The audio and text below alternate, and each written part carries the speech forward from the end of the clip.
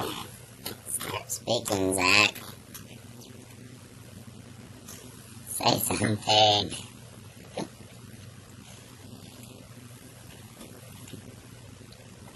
I think you can sound Zach.